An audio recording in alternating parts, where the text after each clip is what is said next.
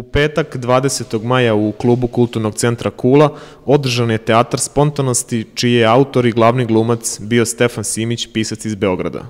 Stefan je rođen 1989. godine u Paraćinu, studira sociologiju na Filozofskom fakultetu u Beogradu. Svoju prvu knjigu pod nazivom Pustite nas objavio je 2012. godine, a knjigu Odjeci ljudskog 2013. i 2014. drugo dopunjeno izdanje. Prošle godine je izdao treću knjigu pod nazivom Generacijama koje rastu bez poezije. Na internetu već godinama objavljuje svoju poeziju prozu, kao i zapisi svakodnevnog života. Vremenom je njegov internet angažman prerastao u nešto mnogo šire i sve više dobija na značaju. Specifičnim stilom pisanja i otvorenim načinom izražavanja na nastupima privukao je pažnju u Srbiji i zemljama bivše Jugoslavije.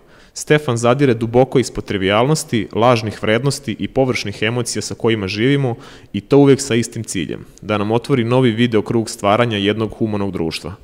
Publici u Kuli Stefan Simić se predstavio jednim iskrenim nastupom koji je publika podržala i toplo prihvatila.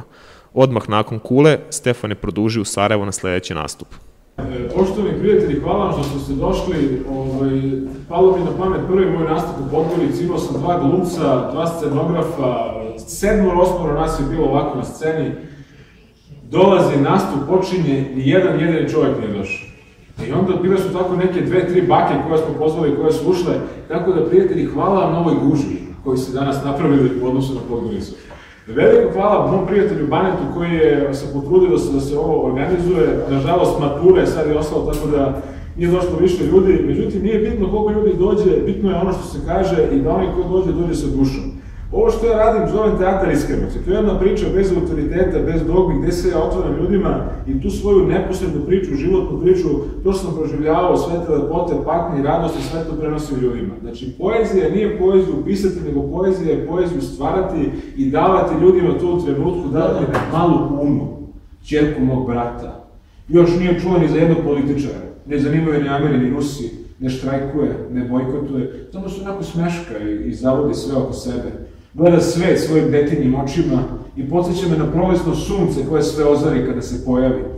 On ima tri godine, a kao da ima tri veka, neuhvatljiva, nedodirljiva, sva svoja. Sledi period socijalizacije, učenja društvenih normi, ovo smeš, ovo ne smeš, ovo je lepo, ovo nije. Nešto se mislim, da bolje bio nije da učimo.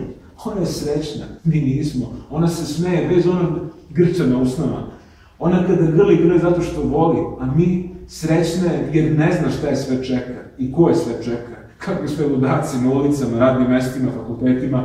Ona vidi samo tatu i mamu, ona vidi samo baku, deku i prijatelje. Mi su svi prijatelji, i kuca, i maca, i sve što je okružuje. Ona vidi samo šarene, neodoljive boje detinstva.